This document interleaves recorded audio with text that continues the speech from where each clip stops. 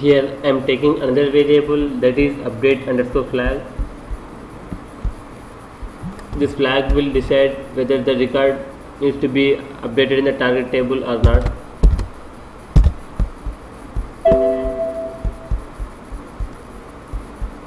So I have defined two groups. So and another one is the default group. So here if you see in this in these dimensions we are performing three different operations. So one is for the new records. If we have a new records in source directly we are performing insert operation in target table. So there is a type of there is a one type of operation. Direct insert. And the second of second type of operation is if we have any updates to that record we are inactivating that record in the target table and updating the termination dates updates. And third one is after inactivating that record we are inserting the new record with the new amount and new effective and termination dates.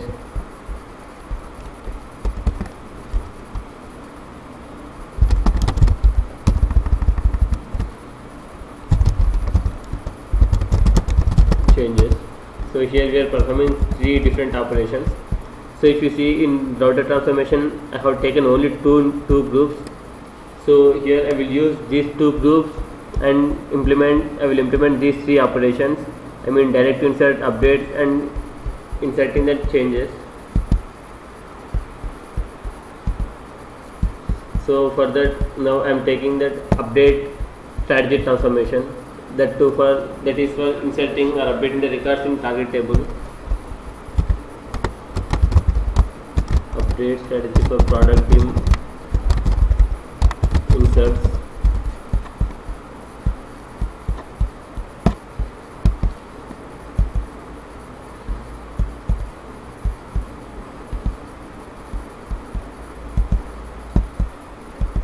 so we all know the properties of this update strategy transformation. Here this update strategy expression is 0 it will perform insert operations on target table. So I am taking the record from insert flag insert flag group so this will these are nothing but for insert operations. The insert flag is y then it will perform insert operations and to insert the data I am taking the strategy transformation with the strategy type as 0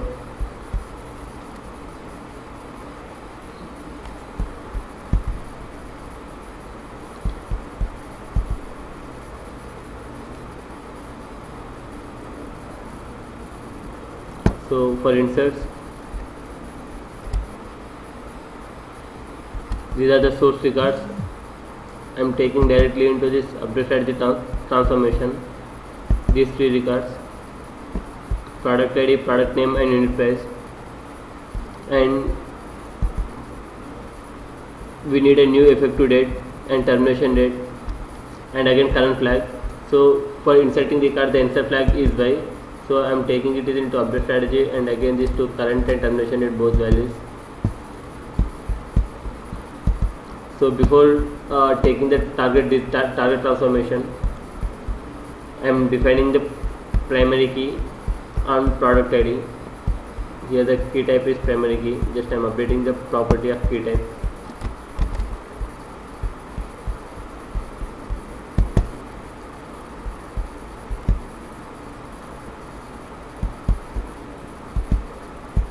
So for product id product name unit price i'm mapping respect to post and comment that insert flag it is y for inserting records and effective date termination date effective date is nothing but for inserting new records it will be the sys date and termination date is by default 12 31 1999 okay i will map again. So the first operation inserts operation is completed and next one is for updates operation that is from update flag so for this I am taking another update strategy transformation.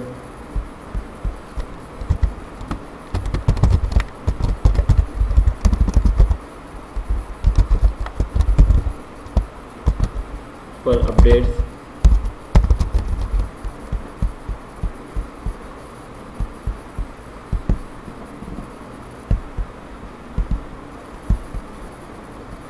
So for updates if you see our excel so it is an updated record. So for this the product id product name unit price are all same except record status and termination date. So we need to implement the same thing here. So for that I'm taking the product ID and product name from source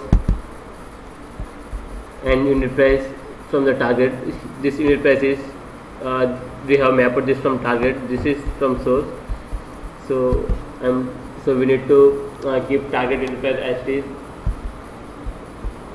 And we need to change the flag as inactive or n. So if you see this insert flag so for updating the cars this should be n.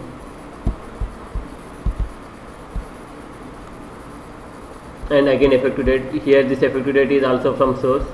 The effective date should be same for the updating records and termination date date should be the current date. I hope this will be clear.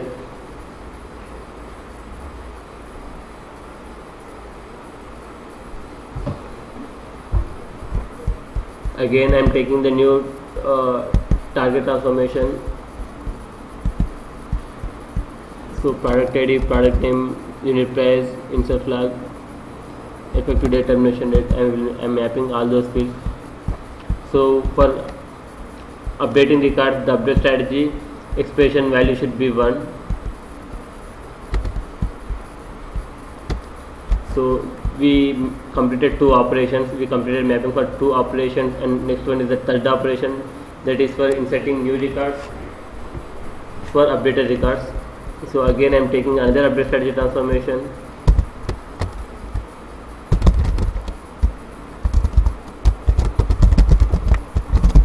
updates inserts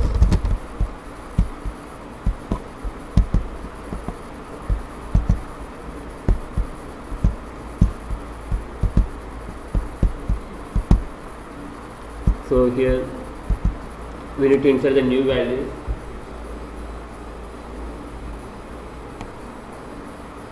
so as here we are inserting the records and the property should be 0 and the values uh, will be same as source values. And coming to that insert flag here for the new record the flag should be y so from the update flag group the update flag value will be y and the current date will be the effective date and termination date will be the 12 31 1999 yeah I am taking the again another transfer another target transformation.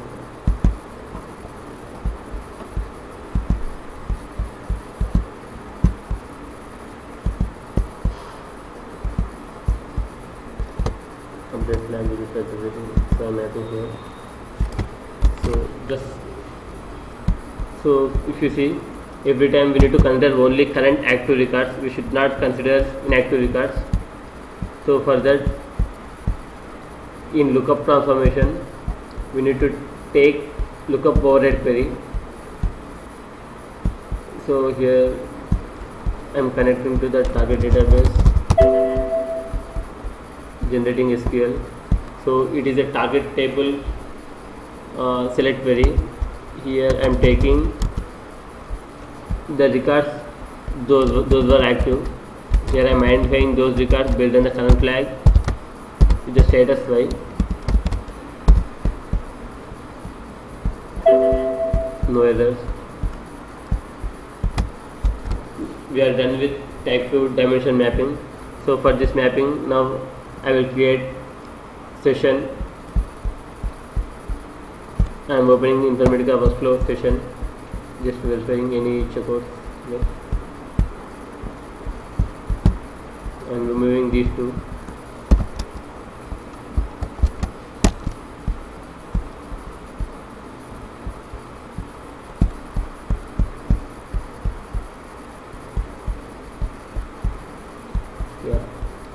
task developer I'm creating a new task. That is session. The session name is s underscore m underscore product dim. Type 2 I am assigning this to the mapping that we created. And now we need to verify the database connection. So in components sorry mapping connections so these are all target connections I'm changing the connection type to target. These are all different target transformations. In our mapping we have three target transformations. So and source qualifier is nothing but our source connection and lookup is target connection. And source connection value is the source database and target connection value is the target database so and source is already source and tar tar uh, targets is the target value. Then now I am creating a new workflow in workflow designer. Task. Under workflow create a new workflow with the name w underscore product underscore dim underscore type 2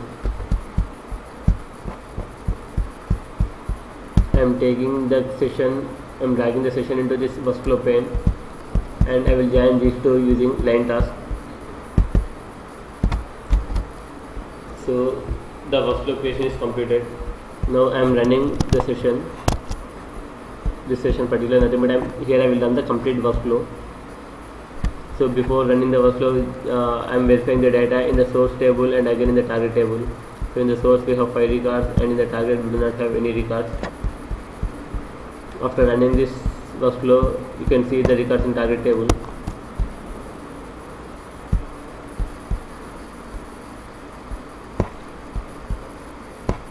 So here it is running.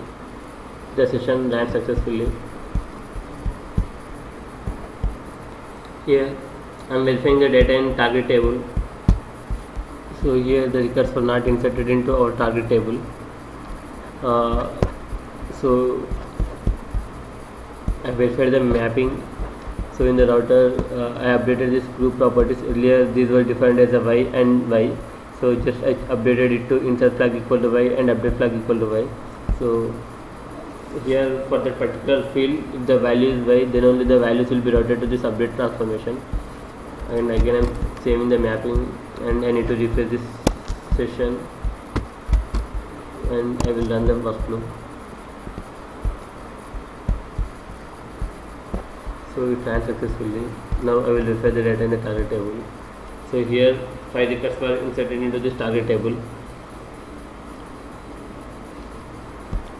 If you see the source data we have this five records 100 101 102 103 104 products and the same details we have here. And effective date is the current date 1020 2014 and termination it is the default date that I have taken 12 31 99 99 so if you perform any update operation in the source table that should be reflected in, the target table. For that uh, here I will come up with a few scenarios like as we discussed uh, updating the product price as 150 so in SQL Server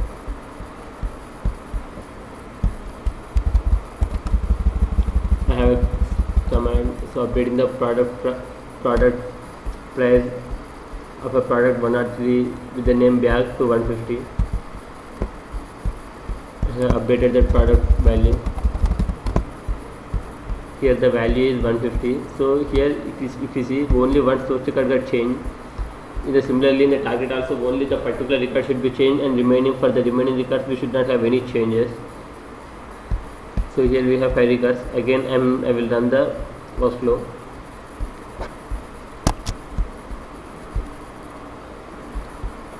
So in the monitor it ran successfully. So here it ran successfully for that update. I am verifying the session log. So if you see the session log only one record should get affected. The, from the source we have five records. uh, Uh, so if you see we have three target instances here. One is for only inserting records for the new records and another one is for updating the records and another one is for the records that were updated